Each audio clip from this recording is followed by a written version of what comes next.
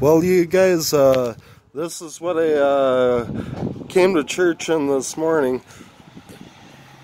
First time I've ridden in one. Yep. It's a pretty nice looking car. Yep. Scared the heck out of me when he uh, was hitting the gears, so